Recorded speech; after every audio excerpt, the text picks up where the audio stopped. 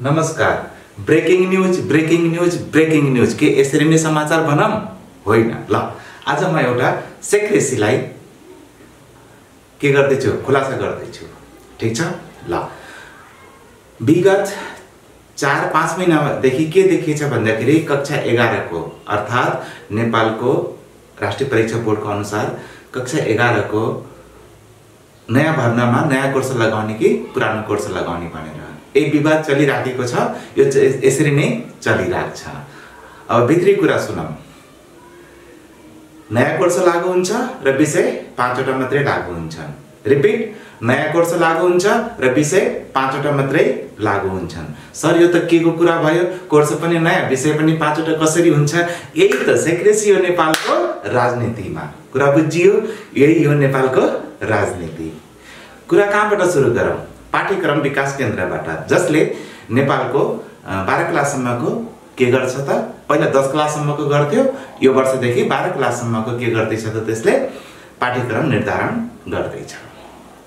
नयाँ कोर्स तिन वर्ष पहिल्यै लागू गर्ने गर्ने भनेर भनेका हुन्। अर्थात् अहिले दुई हजार सत्तरमा नयाँ गरायो दुई हजार पचहत्तरदेखि नै लागू गर्ने भनेका हो तर यसमा विरोध भइरहेको रहेको थियो जसले गर्दाखेरि हो दुई हजार सतहत्तरमा किन लागू गर्नु पर्यो त?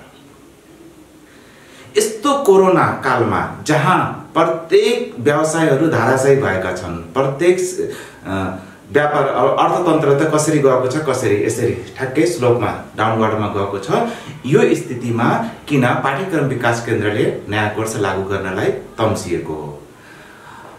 थाहा छैन नेपालमा किन तम्सिन्छन्? जहिलेसम्म खाना पाइन्छ त्यति बेलासम्म तर्सिनियो तम्सिनियो। नयाँ कार्य गर्न जोस लगाएर गरेका हुन्छन्। जति बेला यो खाना पाउँदैनन् नि त्यो खाना भनेको के? घुस पनि हुनसक्छ अरू केही पनि हुनसक्छ। बुझ्ने मान्छेले विचार गरेर बुझ्ने र बुद्धि लगाएर बुझ्ने। ल यो नयाँ पाठ्यक्रम लागू गर्ने भनेर पाठ्यक्रम विकास केन्द्रले आठ करोड रुपियाँ लिएको हो। अर्थात् सरकारबाट आठ करोड रुपियाँको बजेट छुट्याएर हामीले नयाँ पाठ्यक्रम लागू गर्छौँ भनेर यो आठ करोडको बजेट हो। आठ करोडमा के के थियो? तिनवटा नयाँ किताब थप्ने भनेर यिनीहरूले भनेका हुन्। त्यो तिनवटा खास चारवटा थियो पहिला पछि तिनवटामा आएर यिनीहरू टुङ्गेका हुन्। त्यो भनेको के थियो? नेपाली अङ्ग्रेजी सामाजिक र लाइफ साइन्स भनेर चारवटा कुरा थियो।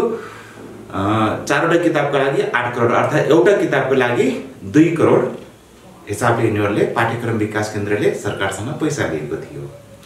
अब सरकारसँग पैसा लिइसकेपछि के हुन्छ भन्दाखेरि त्यो काम पुरा गरेर दियो भने फर्सियोट हुन्छ हिसाब अर्थात् जो हिसाब क्लियरेन्स हुन्छ यदि लागू गरेर दिएन भने हिसाब क्लियर हुँदैन। पाठ्यक्रम विकास केन्द्रले नयाँ कोर्स लागू गरेन भने त्यो आठ करोड रुपियाँ पनि उसले फर्सुट गर्न सक्दैन। त्यही भएर पाठ्यक्रम विकास केन्द्रले के भनेछ? जसरी पनि नयाँ कोर्स लगाउने भनेछ। अब विरोध किन भयो त?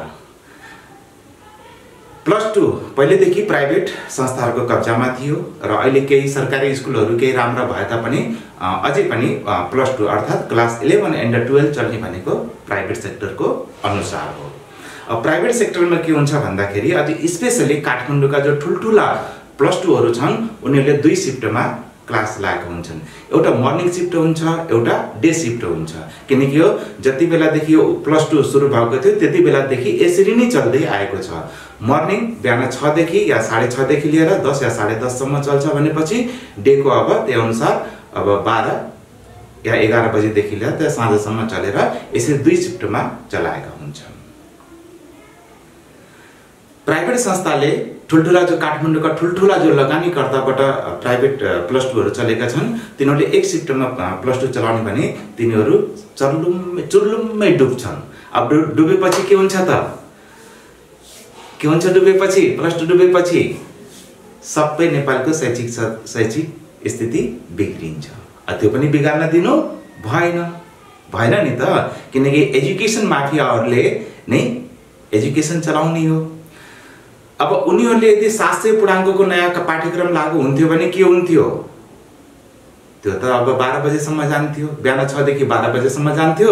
फेरि अब दिउँसो छदेखि साँझ दिउँसो बाह्रदेखि साँझ छ छ बजेसम्म जान्थ्यो। यसरी त दुई दुईवटा अर्थात् डे मर्निङ चलाउने स्थिति नै थिएन।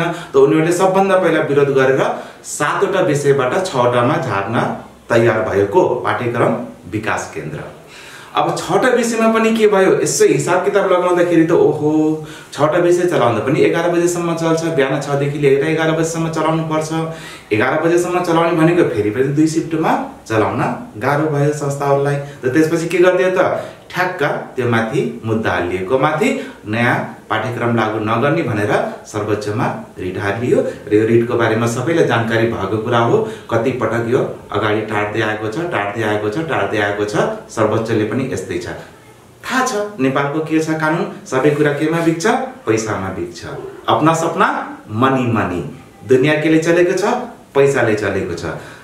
त पाठ्यक्रम विकास केन्द्र पनि केले चलेको छ? पैसाले चलेको छ। प्लस टूहरू पनि केहीले चलेछन् पैसाले चलेको छन्। अदालत पनि केहीले चलेको छ? पैसाले चलेको छ। त सबै चलखेल केमा छ।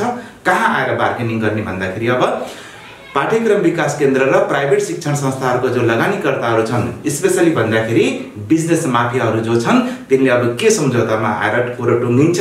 अब चाँडै नै फैसला आउँदैछ। के भन्दाखेरि पाठ्यक्रम नयाँ लागू गर्ने तर विषय पाँचवटा मात्रै कुरा बुझियो कारण के छ? पाठ्यक्रम विकास केन्द्रको आठ करोड रुपियाँको लगानी फर्स्यौट गर्नु उता प्राइभेट प्लस टूहरूलाई के गर्नु पर्यो? दुई सिटमा चलाउन दिने। यही नै सम्झौता हुँदैछ। चाँडै नै यसको न्युज अब आउनेवाला छ। यो ब्रेकिङ न्युज मैले कहाँबाट पाएँ? यो न्युज मैले लगभग लगभग डेढ महिना पहिल्यैदेखि पाएको थिएँ। सोचेको थिएँ भिडियो बनाऊँ कि नबनाऊँ बनाऊँ कि नबनाऊँ? मैले थुप्रै भयो पाँच छ महिनादेखि भिडियो बनाएको छैन। तर अब सोचेँ अब होइन भिडियो पनि बनाऊँ भनेर मैले आज भिडियो बनाउन लागेको हो। त्यही भएर विशेष सूत्रको आधारमा यो कुरा गरिएको छ। अब अर्कोतिर जाउँ अब। यस्तो सङ्कटकालमा नयाँ कोर्स कसैले पनि मैले जति अध्ययन गरेको छु म यति बेला लगभग लगभग बिस एक्काइस देशका विद्यार्थीहरूसँग म कनेक्टमा छु। अहिले म अनलाइनमा बिस एक्काइसवटा देशका विद्यार्थीहरूसँग कनेक्टमा छु। भनेपछि मैले विभिन्न विद्यार्थीहरूसँग कुरा गरेको छु विभिन्न देशका विद्यार्थीहरूसँग। कुनै पनि ठाउँमा मैले बिस एक्काइसवटा देशको त्योभन्दा अरू मलाई जानकारी छैन है।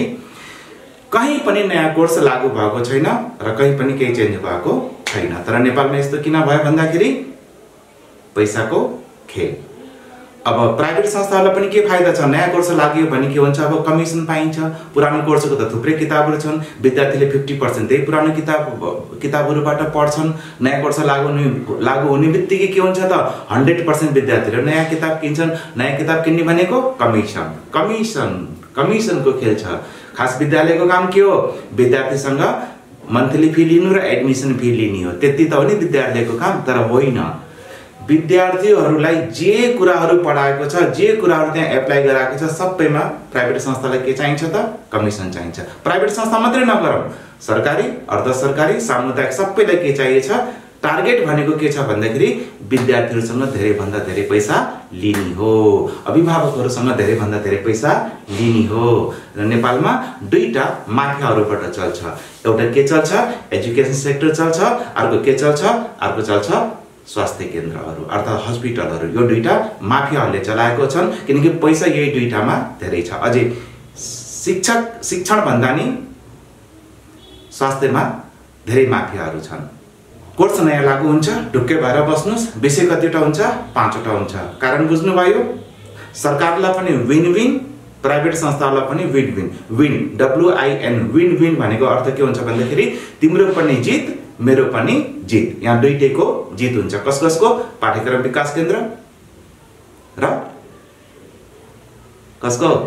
प्लस टू चलाउनेहरूको अर्थात् प्राइभेट प्लस टू चलाउनेहरूको। यहाँ दुइटैको जित छ।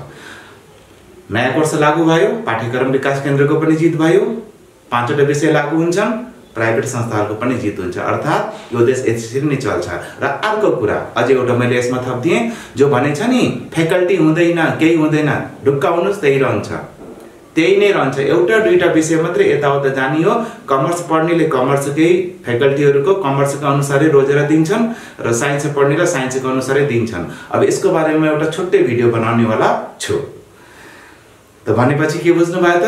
बुझ्नुभयो यो माफियाहरूको चलखेल बुझ्नुभयो? ल यसै माफियाहरूको चलखेलको बिचमा मैले एउटा विद्यार्थीलाई एउटा नयाँ सूचना पनि दिन्छु। नयाँ पाठ्यक्रमको अनुसार कमर्सको सबै किताबहरू अनलाइनमा फ्रीमा छन्। नयाँ पाठ्यक्रमका अनुसार कमर्सका सबै किताबहरू अनलाइनमा फ्रीमा छन्। त्यो किताब किन्ने आवश्यकता छैन। ठिक छ? र त्यो फेरि किताब कहाँ पाइन्छ? W dot EP online study dot कममा गएर कमर्सका सबै किताबहरू फ्रीमा पढ्न सक्नुहुन्छ। त्यति मात्रै होइन। जुन कुरा बुझिएन जुन कुरा बुझिएन ठ्याक्क त्यहीँ कमेन्ट गर्ने हो त्यसको जवाब पनि पाइन्छ। यति भन्दै आफ्नो स्वास्थ्यको ध्यान राख्नुहोस् आफ्नो परिवारलाई माया गर्नुहोस् र लक्ष्य राखेर पढ्नुहोस्। जय गुगल। जय यूट्यूब जय सोशल मिडिया